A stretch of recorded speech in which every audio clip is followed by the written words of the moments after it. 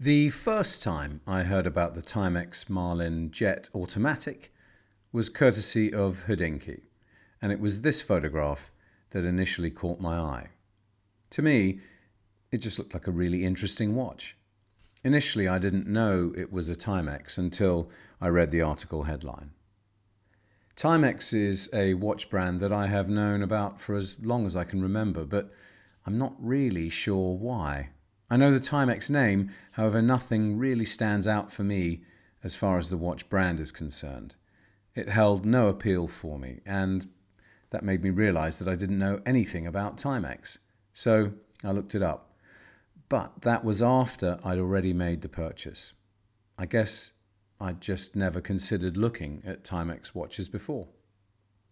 Having had a browse online, I'm still not entirely convinced that beyond the Marlin Jet, there's much more that interests me with Timex watches. However, this particular release certainly made me more curious. There was something about the design and shape of the domed crystalline profile. I like the way Hesalite looks and feels to the touch, and also the dial face itself that first drew my eye. I liked the subdial at the 9 o'clock position. Initially, I hoped it might be a GMT hour hand, but the reality is that it's little more than an AM PM indicator. Either way, I think the subdial looks great. The case size at 38mm also appealed to me, given my tendency towards smaller watches. And frankly, that was enough for me to decide to give it a go, the way it looked and the size of the watch. This was a complete impulse buy, and at the price, I didn't stop to think twice. Besides, the Hodinkee article sufficiently piqued my curiosity, and that was validation enough. Whilst my overriding thought was, at this price, how far could I go wrong? If I'm completely honest, I did wonder whether I'd later regret my impulsiveness. No one wants to waste money. In the event, I didn't hesitate, and I ordered the watch online, and it was delivered through my door 10 days later. First impressions of the watch in hand pretty decent. It's very much as I'd expected given the photographs I'd seen, and having now worn it for a few days, I haven't wanted to take it off. So I thought I'd share my thoughts on this rather unusual and enchanting looking timepiece. The Timex Marlin Jet neatly combines a number of things that I like and appreciate. Most of all, it has a cool, sophisticated yet understated appearance, being smart but at the same time casual. It has an unusual look, but it stops short of being bizarre. The Timex website cites the watch as being a space age sensation, with its most defining feature being the domed Hesalite crystal, enveloping the grooved bezel bearing the Marlin name, bringing captivating depth to its retro futuristic appearance. This statement resonates with me. It's all about the Hesalite crystal design. It goes on to say, this unique crystal covers the entire top surface of the watch case and blends seamlessly into the flat case sides, leaving only the lugs exposed. The case sides smoothly transition to a screwed-on ex exhibition case back that mirrors the crystal's domed contour, enhancing the watch's streamlined profile and space age aesthetics. The domed Hesalite crystal on the Marlin Jet reminds me of one of the reasons why I opted to buy the Hesalite version of Omega's Moonwatch in preference to the sapphire crystal version. Basically, what swayed me was the story of why Hesalite was chosen to be the original Moonwatch in preference to the sapphire crystal. The reason being that Unlike the sapphire crystal, if the Hesalite were to take a sharp knock up in space and break, it would crack, but it wouldn't shatter into lots of small fragments. That was a risk that couldn't be taken on the mission to the moon, and it was one of those feature items that really resonated with me. It never ceases to amaze me how design specifications like this, or a 500 meter water resistance, let alone a 2 or 3000 meter depth rating, hold such appeal. I mean, how many of us are ever likely to find ourselves diving to such depths? Or deploying a Martin Baker ejection seat, let alone taking a trip to the moon? But oddly, they do still have an appeal and impact. The word marlin features on the encased bezel at both 12 and 6 o'clock. However, this doesn't stand out nearly as much as it does in the official release photos. It's far less noticeable in reality, and it doesn't concern me at all. If anything, I rather like it. Instead, my eye is drawn to the enchanting way light catches the domed Hesalite, and also the bezel in daylight, plus the shadows thrown by the concave dial, which adds depth to the dial. Retrofuturistic is how Timex described the Marlin Jet, and to my eye, there's something achingly cool about its look and feel.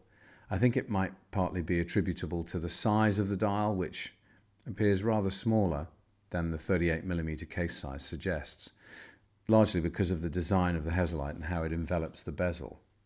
In my mind, I'm reminded of the way the Moonwatch looks side on. The futuristic bit for me is the dial color and texture, which is sort of spaceship in presentation. It reminds me of the dial on my Bremont Supersonic, which was inspired by the special paint used on Concorde. Also, the clean lines on the crown, along the side of the bezel, and which are continued on the rear of the case. Its shiny complexion contrasts with the brushed stainless steel sides and lugs. There's a display caseback on the rear, which is sort of befitting, and whilst the movement is slightly decorated, it's really not the right side of the watch to focus upon. The dial's concave shape at the outer edges of the minute track mean that the applied indices, there are Arabic numbers on the subdial only, are in set. It's another interesting design feature, although this isn't immediately apparent, and I think is only something that you notice on a second take once your curiosity gets the better of you a bit like the crosshair on the dial, which for me really works. The domed Hesalite crystal brings a lot to the look and feel of this watch, and yet this photograph, which is the primary image on the Timex website, simply doesn't convey how the Marlin Jet looks in hand or on wrist, and I honestly would not have looked twice had I seen this product photograph first. It's far too flat, and it completely loses the concave dial shape, and the inset applied indices.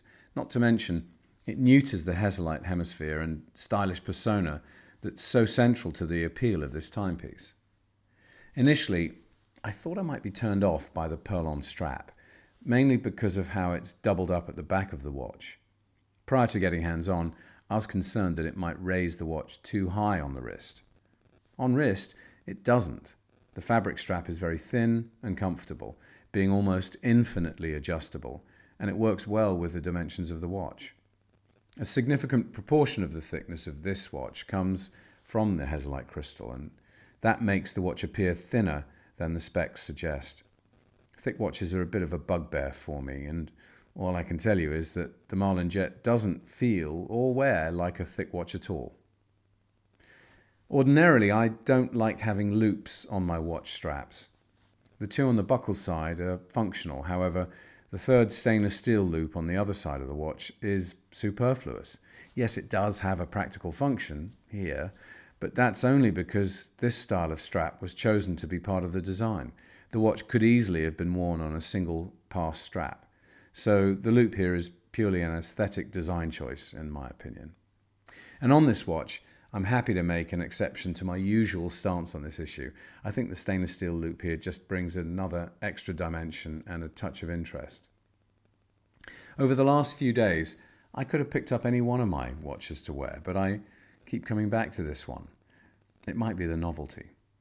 I'm really enjoying wearing it. It's just a delightful, low key, and unassuming, yet interesting alternative to many of the other watches I own. A friend of mine who has many expensive watches saw my Marlin Jet recently, and it was interesting to witness how, much like me, he was instantly taken by it. I think it was the overall look of the watch that grabbed his attention, and there was a hint of surprise and a raised eyebrow when I explained that it was a new Timex that's priced at less than £300.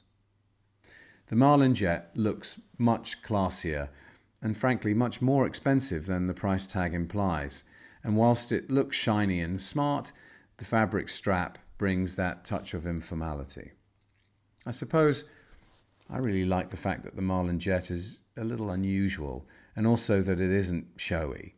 It's just a, it's just performing a really simple job in quite a stylish way and doing it really well, particularly for the budget.